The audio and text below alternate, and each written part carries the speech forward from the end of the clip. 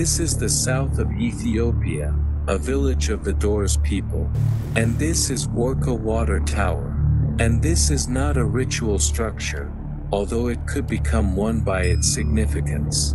Because this tower, which gives the village endless clean water, and most importantly, is absolutely free. And this is a matter of difficult convenience.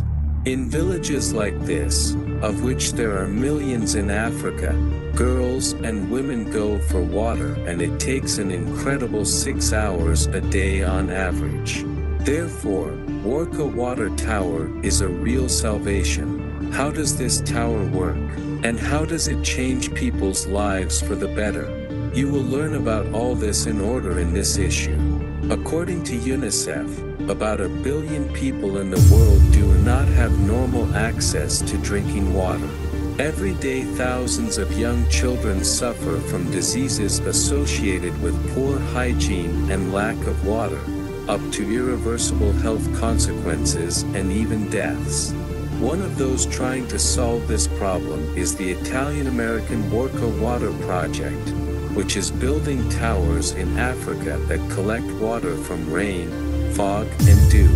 The Italian architect Arthur Vittori, together with his team, came up with a design that rather resembles a product from a catalog of expensive interior items, but Warka Water is an engineering solution. A lightweight mesh is attached to the bamboo frame. Nylon polypropylene fibers quickly cool down with the onset of dusk. While the air remains warm, this creates the effect of a dew point, and the mesh becomes a framework for the condensation of water from the air. Further, the pure liquid under the influence of gravity flows into the reservoir at the base of the structure, so that the water does not evaporate. The lower part of the structure is protected by an opaque canopy. One tower can produce 80 to 100 liters of water daily. Yes, this water would be enough only for half a day for a European resident and only for a quarter of a day for a US resident. But, it's still a lot for people who have no water at all. More importantly, the tower is completely non-volatile. She doesn't need electricity even for maintenance. Maintenance of the structure can be carried out by local residents with hand tools. The cost of construction is from 500 to $1,000. A team of 6 to 10 people can assemble the structure within one day. There is only one significant disadvantage of the tower. It does not give any profit. Therefore, the Warka Water Project lives solely on donations. The cost of the tower varies, because each design corresponds to a general principle. It can be adapted to the conditions of each village. Also, engineers are constantly experimenting with shapes, trying to extend the period of formation of the dew point. But the shape of each tower changes not only for the sake of efficiency. The Warka tree is sacred in the culture of East African tribes. Under its spreading crown, community members gather to socialize or pray. And the authors of the project pay tribute to tradition not only in the name of each.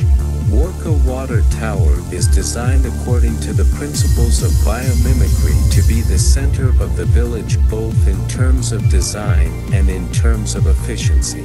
And in this sense, the name Warka fits perfectly. This natural or man-made tree brings water and coolness to the locals. And in his shadow, you can gather to solve the problems of the tribe and think about a better future. The creators of Warka Water do not stop there. And we decided to develop our idea into a whole settlement. This is how the Warka Village project appeared, which is being built in Cameroon for the Bagyeli Pygmy tribe. It is an integrated village being built using local natural materials and ancient construction technologies.